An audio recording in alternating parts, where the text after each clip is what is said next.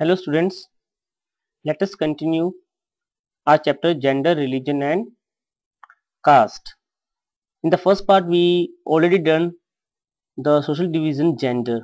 So in our second module, in this part we will do the most sensitive topic of the world that is the religion. As we discussed that gender is a universal division and it is found everywhere while religion is not a universal division.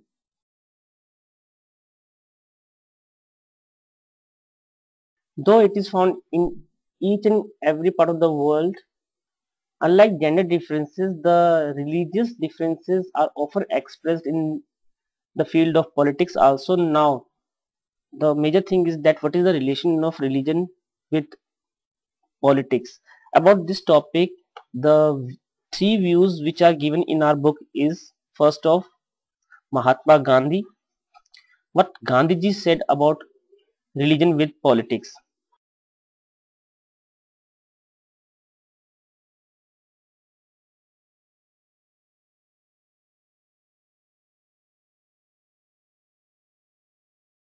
Mahatma Gandhi ji said that there should be a relation between religion and politics because the politicians can learn a lot from religions. There is a Gita which tell us a lot about how to do administrations. Similarly, the Kautilya Shastra and other things. So politicians learn a lot of things from religions, the moral things of religions, and this is how religion can help them. As so, this is what the Mahatma Gandhi said. The second view is of the Human Right Commission. Now what Human Right Commission is said that the maximum victims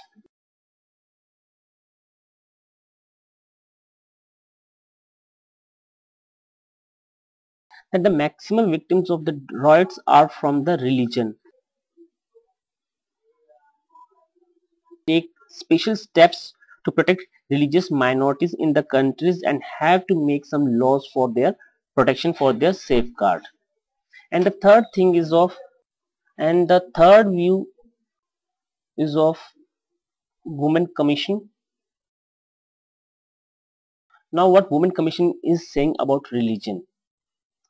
As we know that in india we respect women as a devi god. On other hand we give a lot of we do a lot of violence against women so what women are saying that in all the religions of the world, whether it is Islam, Hinduism, Christianity or any other religions, all religions are saying that women are for household work while the male are for the outside world. Means all religions are dominating women. So what Women Commission is saying that government should make such a law which can protect and give safeguard to women and women can women can women also get equal status as of man in this the in this civilization. So this is what we see about religion and the views of Gandhiji human rights commissions and the feminist movement. Feminist movement the women uh, movements of the world.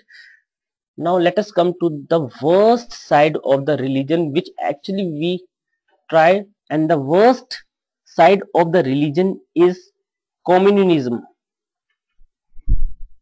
is communalism. Communalism is a thinking where a person is think that his or her religion is superior than others. This particular thinking is called communalism. It is a situation as I said that when a particular community tries to promote its own interest at the cost of communities. The communism become very acute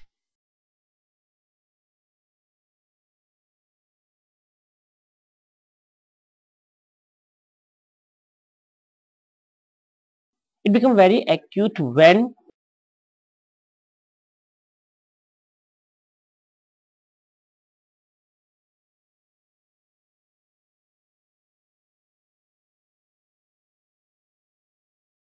Well, the religion is seen as the basis of the nation.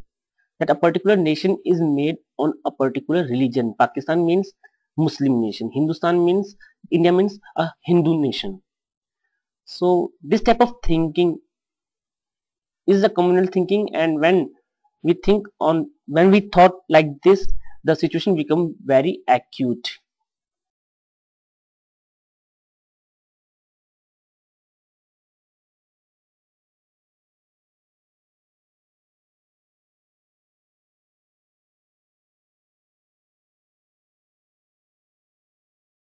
when one religion and its followers are discriminated by the other religions.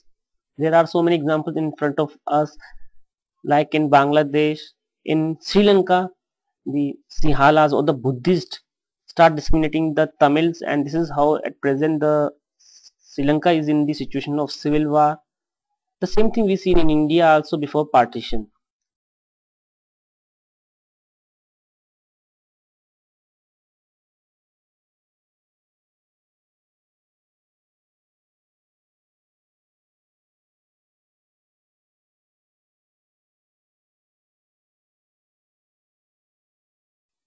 the third thing is that when people start believes that one religion are that their own religion means are superior to those of the other religion that their religion is much better than other religions this create problem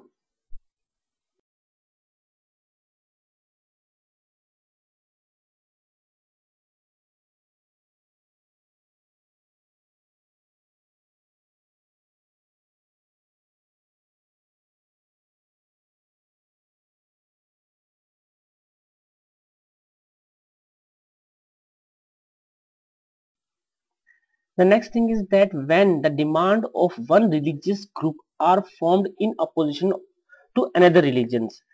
Like uh, if you take an example in India, when the Hindu demands for Ram Mandir in Ayodhya, but there is already a uh, Babri Masjid. So means if they try to make Ram Mandir means they have to destroy the Babri Masjid which is totally against the another religion. So this also creates a problem and the situation become acute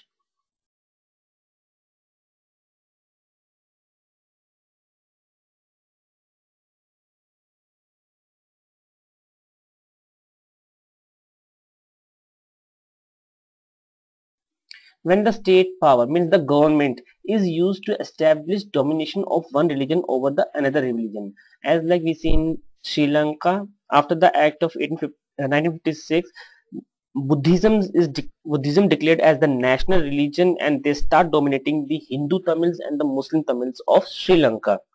And this is how the situation become too acute. Let's come to the communal politics.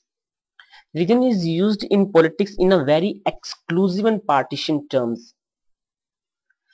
This manner is this manner of using religion in politics is called communal politics means when politics take interfere in the religious matter. Communal politics is based on the idea that a religion is the principal basis of a particular social community.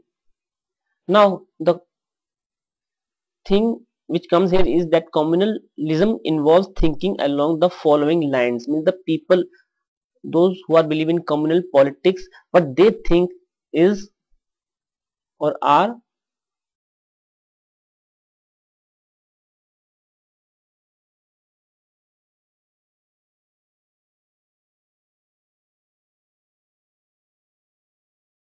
that the follower of one religion must belong to one community. What they think is that the follower of one religion like the india the indian community the whole Indian community must be a Hindu or must be a Muslim. The whole Pakistan community must be a Hindu, must be a Muslim or must be a Christian, whatever. Means the whole community must belong to one religion. That what they are thinking.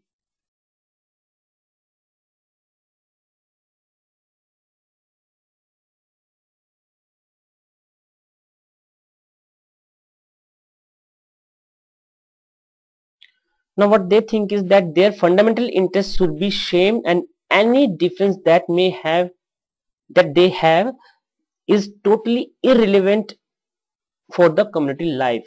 Means the religion comes first and then other things comes. The nation comes whether the nation their own family their children's and any other matter. All these things comes after later.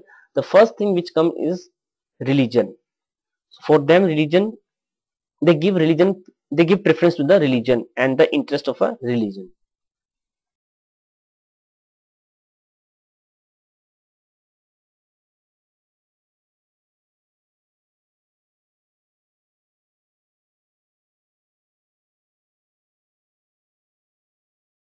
Now what they think is that the or what they believe is that the people belonging to the different religions cannot live as equal citizens with one nations. They cannot live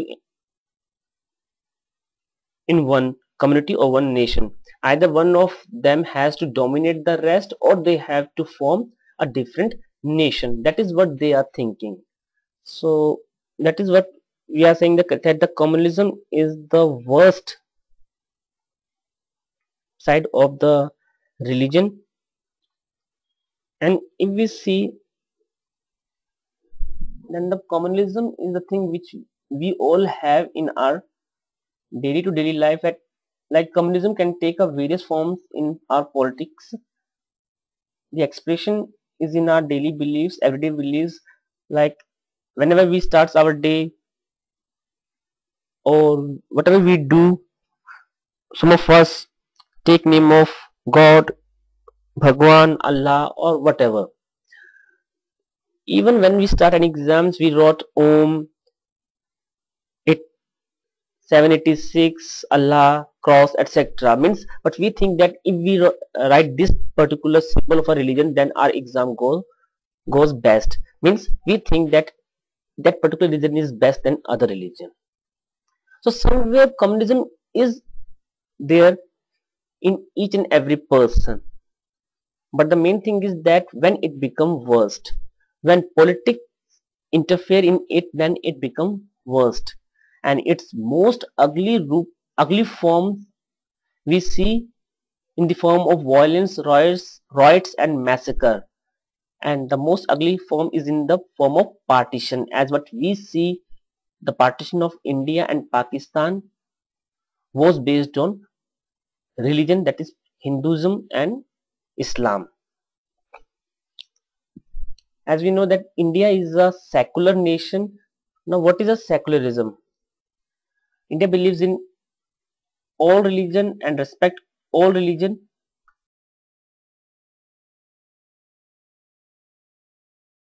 In secularism, three things comes first.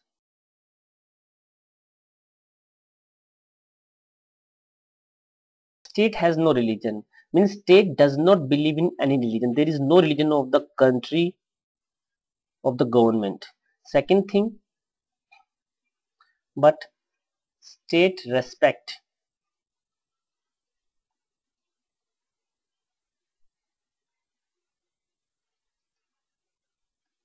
others religions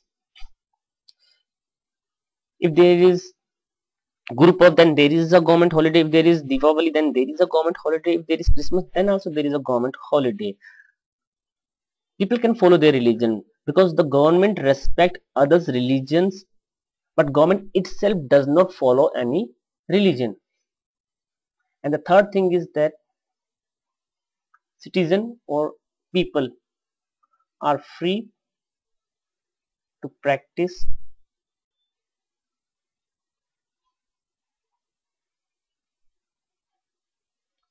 their religions whatever people want to do they can do they can do namaz they can do prayer they can read slokas they can read ayats they can worship christ or whatever they can do they can do. They can celebrate eid they can celebrate deepavali whatever they want they can do. So totally people are totally free to practice their religion and this particular thing is called secularism. So this is how in the second part we done the religion which is the most sensitive matter. Though I try myself to respect each and everything but even then if I hurt any religion then sorry from my side. Thank you to all of you. If you want to give me any comment then you can give me comment or you can visit to my blog which is bipindogra dot blogspot